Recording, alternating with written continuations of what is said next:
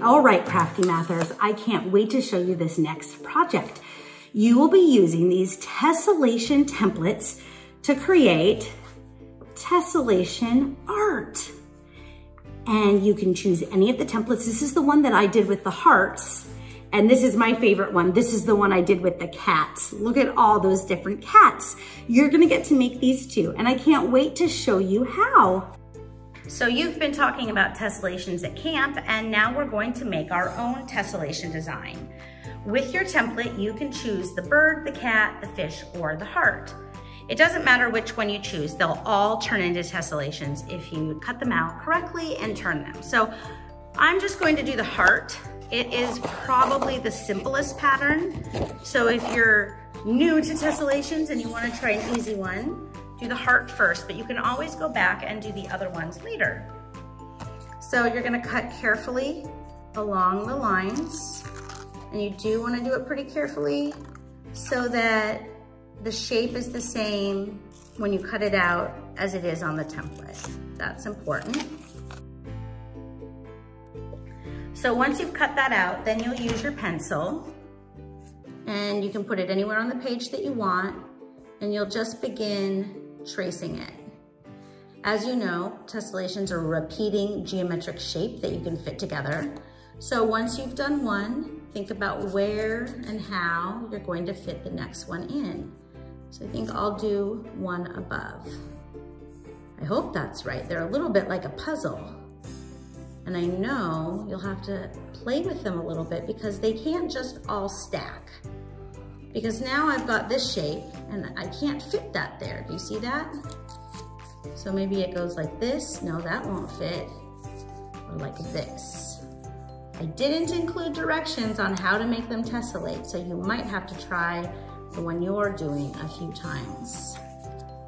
Because I think that the way I stacked it the first time wasn't the right way to make this tessellation work. Because that did work, but see, there's no way to make this fit, which means that this part needs to not be there. And when you make yours, if you're doing the fish or the cat or the bird, there's probably going to be some things that you need to do in order to figure out how to make it tessellate, just like I did. So for the heart, some of them are going to be upside down and some of them are going to be right side up. And that's how this tessellation pattern works.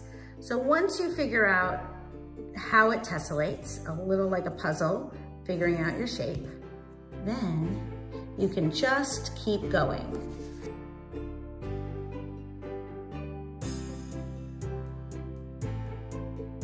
When you get to the end of a page like this, you'll just draw it as if the whole thing were going to continue on.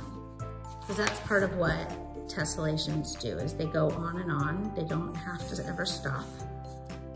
So you will just draw yours as if they were going to continue off of the page and you can see that you can use your imagination to finish off the shape. There. So once you have your tessellating pattern, you're going to then go over the whole thing with Sharpie. So this project does take a few different steps.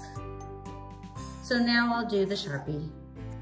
The black permanent marker is great because when you use watercolor, which is the third step, it won't bleed off the paper. So we'll use our permanent marker and go over each heart.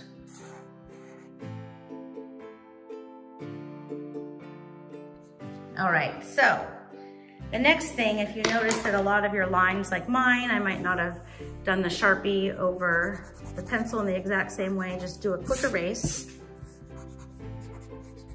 You can make those go away.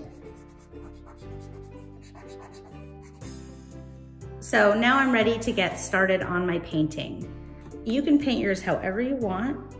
I'm just gonna go through all the colors. We've got red, orange, yellow, green, blue, purple, brown, and black. We'll just start with a red one here.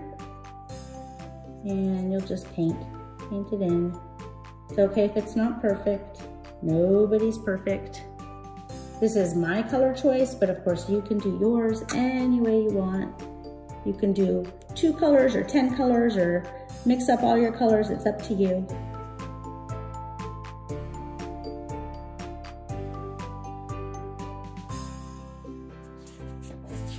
Love the way this looks. So pretty, all the different colors, and you can see how the hearts tessellate. Each shape, each heart fits into the other one. And I have one more step.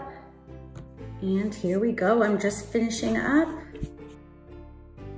And there we go. I have my beautiful tessellation art piece. So I hope you have fun making yours.